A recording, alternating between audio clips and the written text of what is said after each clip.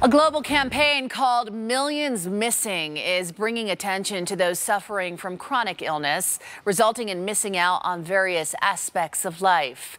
The Bateman Horn Center, that's based in Salt Lake City, they hosted a Zoom event today promoting health equality for those with chronic fatigue syndrome and fibromyalgia.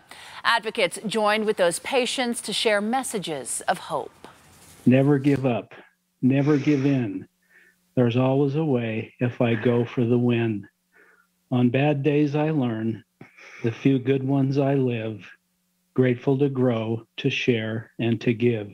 Tomorrow, there will be an international event to ease the burden on those suffering with chronic fatigue syndrome and fibromyalgia.